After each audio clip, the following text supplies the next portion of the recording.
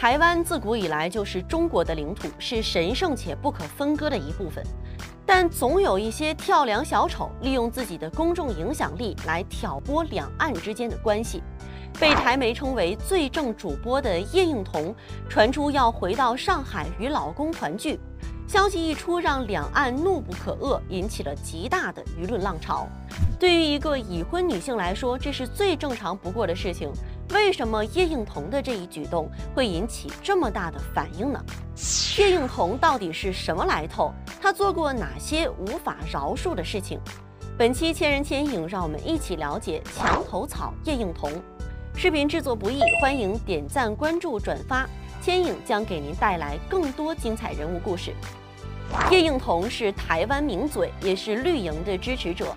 凭借甜美的外形，在台湾省有一定的影响力，却总是喜欢在措辞中耍小聪明。比如在播报四川发洪水的时候，会特地强调“中国四川乐山”，字里行间都暗藏着将台湾从中国割裂出去的险恶用心。作为一个公众人物，不遗余力地想要抹黑祖国，还不顾事实地说出三峡大坝即将崩溃的不实言论，倒是给观众展现了一下睁着眼说瞎话的才艺，三观可悲。五官好看又有什么用呢？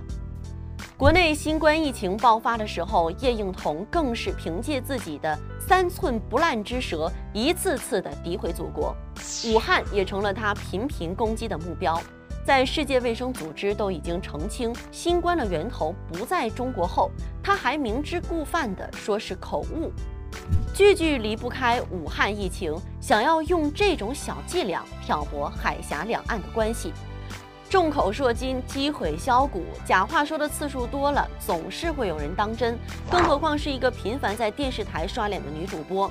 叶应彤的言论给一些不明真相的台湾省民众造成了误导。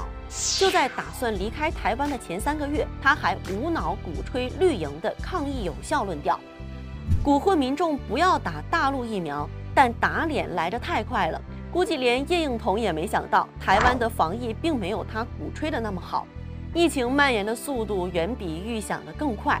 就在他宣布离开台湾的前几天，当地的一位知名摄影师在台北电视大楼的卫生间里突然去世，查出死因是感染了新冠肺炎。这对于叶颖彤来说是不小的打击，他怎么也没想到自己竟然离疫情这么近，于是慌慌张张地宣布要到上海与老公团聚的消息。他的这一行为背后的原因，明眼人都能看出来。就是想要用夫妻团聚为借口逃离台湾这个疫情防疫崩溃的地区，再打上一针国产疫苗给自己吃上定心丸。但这样一个劣迹斑斑的人，竟然说一套做一套。由此可以看出，叶应彤的本质不过是一个利己主义的墙头草，缺乏信念，在他眼里，个人利益远大于国家利益。叶应彤有一个上海老公，按理说应该对国内的情况有所了解。为什么要用尽手段的抹黑祖国呢？实际上啊，叶应彤比你想象的更了解国内的情况，曾有多年的上海求学经历，甚至可以说是从上海长大的，所以才会找一个上海的老公。她的高中呢，就是在上海的杨浦高级中学度过的。还考上了华东政法大学。要知道，这所大学是我国政法高校当中的顶流，更是凭实力入选了五院四系，为国家输送了很多政法界的精英。然而，即便是这样正统的高校教育，也没能扭转叶应彤扭曲的三观，反而利用自己的这段求学经历，作为他抹黑祖国、提高自身言论可信度的佐证。也正是因为他有这一筹码，才会被别有用心的人选中，作为自己的一个宣传工具。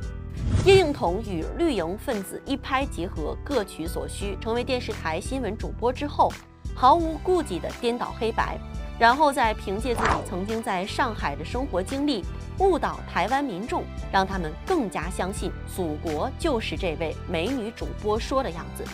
靠着抹黑祖国博出位，获得名利双收，还得到了一个最正主播的头衔。如今看来是一个天大的笑话，不过是一场自导自演的闹剧罢了。与其说他是主播，都不如说他是一个好演员更恰当点儿。如今看到台湾的疫情失控，自己的生命受到了威胁，又义正言辞地说自己要到上海跟老公团聚，还用合同到期为借口。网友们看到他的所作所为也坐不住了，有网友不留情面地指出，合同到期就续约吧，没必要回大陆，而且也不欢迎你。看到叶映彤要回到大陆，台湾当地的媒体也坐不住了，感觉他的举动好像是把别人都当傻子看。台湾有媒体冷嘲热讽地评论道，在评论前看惯了叶映彤输出反中仇中言论的观众，看到这一幕，不知道要作何感想。叶映彤为了掩饰自己落荒而逃的丑态，还为自己找了一个体面的借口，说是很羡慕出双入对的情侣，希望自己生病的时候有男友的陪伴。最后还很有事业心的说了一句，会更加的谦虚的走在新闻的道路上。不愧是女主播，果然擅长给自己找借口。如果是不明真相的人，很容易被她打出的感情牌煽动了吧？觉得她是一个渴望跟丈夫团聚的感性女主播，不知道叶映彤是哪里来的自信，觉得凭着自己的三寸不烂之舌就可以按照她的需要信口开河。她所谓的新闻事业，不过是为了博出位，说一些抹黑祖国的话，不顾事实的一派胡言而已。如果这也能够被称之为事业，那些为了追求真相而牺牲生命的新闻人。他们所做的又算是什么呢？不过是一个挑拨两岸关系的跳梁小丑而已，依靠拉踩祖国获得优越感，误导台湾当地的年轻人。当他觉得台湾不安全了，又把上海当成了避难所，说来就来，说走就走，一边警告台湾民众大陆疫苗无效，自己又迫不及待地飞回来打疫苗，凭什么好事都让他一个人占了？看起来是一个长相精致的女主播，骨子里却是一个完全的利己主义者。没有家国信念的人，长得再漂亮，不过是一个金玉其外，败絮其中的稻草美人。墙头草的本质被揭露之后，他竟然还敢厚着脸皮来大陆生活，还扬言要发展他的新闻事业。如今大陆人才济济，新闻人才也是不断涌现，不需要你这个空有皮囊的歪瓜裂枣。而且还在民众的伤口上撒盐，反复抹黑我们的武汉人民。叶映彤欠武汉一句道歉。《礼记·中庸》当中有一句话叫做“知耻近乎勇”，意思是知道羞耻了，就意味着接近勇敢了。叶应彤如果真的想在大陆的新闻行业发展，也不是不可以。不过呢，要先学会这句话才行。为自己抹黑祖国言行感到羞耻，摆正自己扭曲的三观。想要从事新闻事业还是有希望的。那么你对叶应彤说一套做一套的做法怎么看？同意他回上海避难吗？欢迎大家评论区下方留言讨论。本期千人千影到这里就结束了，期待下期再见。